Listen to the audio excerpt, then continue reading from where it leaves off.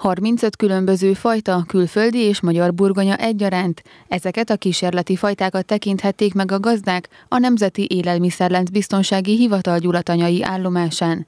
Az országos burgonya tanácskozás célja, hogy a hazai termőföld adottságaihoz és éghajlati viszonyaihoz alkalmazkodva minél több új növényfajta kerüljön be a burgonya jegyzékbe. Ennek érdekében az országos fajta kísérleti állomás hálózat már 125 éve működik. Gyula mindig is egy kiemelt szerepe a burgonya fajta kísérlettel volt, hiszen itt 25. alkalommal kerül megrendezésre ez a bemutató, és azt gondolom, hogy mivel az ország egész területét le kell fednünk, ezért nagyon fontos, hogy az északi északkeleti csücsökbe is legyen fajta kísérleti állomási terület, hiszen ez egy mezőgazdasággal nagy mértékben érintett terület. A burgonya Dél-Amerikából hosszú utat tett meg, mire Magyarországra ért, és az egyik legfontosabb ételünké vált.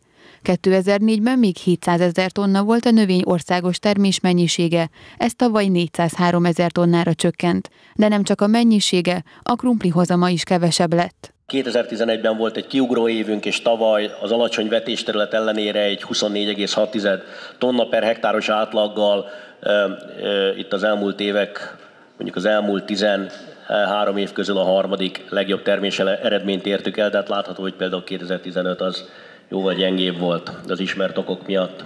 Ilyen ok például, hogy amíg korábban 31 ezer hektáron is termesztettek burgonyát, tavaly ez már mindössze 16 ezer hektár volt. A csökkenés annak is köszönhető, hogy nagy a verseny az import burgonyával, illetve megszűnt az ipari felhasználás. Korábban a szeszipar is feldolgozta a növényt, de krumpli cukor és keményítő is készült burgonyából. Amikor ezek megszűntek, sok esetben nem tudtak mit kezdeni a megmaradt burgonyával, ezért több mezőgazdasági szakember is felhagyott a növény termesztésével, közölte a Nemzeti Agrárgazdasági Kamara megyei elnöke.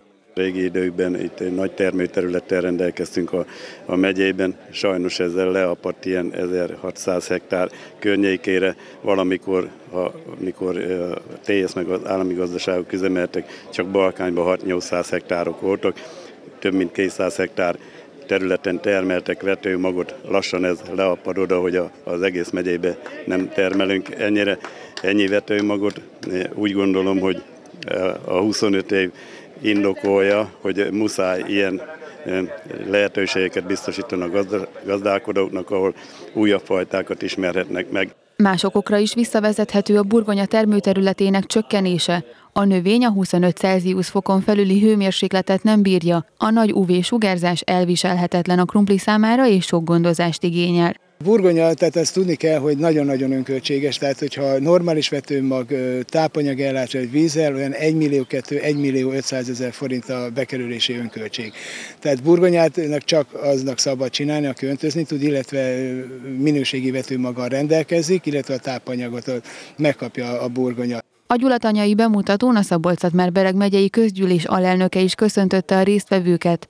Baracsi Endre beszédében kiemelte, a 25. évfordulóját ünneplő rendezvény helyszínt biztosít a jó gyakorlatok megosztására és a tapasztalatok átadására a termelők között. Nagyon fontos lenne az, hogy szabolcs bereg megyében is, amely egy, egy hagyományos termőterülete a burgonyának, itt is minél jobb fajtákkal és minél minél inkább e, tudjuk megközelíteni azt a termés átlagot, amelyet az ökológiai lehetőségeink biztosítanak, de természetesen ez egy nagyon nehéz vállalás, hiszen nagyon sok szempont befolyásolja magát a burgonya fogyasztást is, hiszen csökken a, a fogyasztása ennek a növénynek, nagyjából olyan 60 kg körül mozog egy emberre vetítve az éves elfogyasztott burgonya mennyiség, és ebben már benne vannak az, a különböző módon feldolgozott burgonya termékek. A gyulatanyai rendezvényen kiemelték, régebben a sárga burgonya színe miatt szinte eladhatatlan volt. Mindenki a pirosat kereste, pedig valójában a sárgának van jobb íze. Az elmúlt években ezt már a vásárlók is tapasztalják.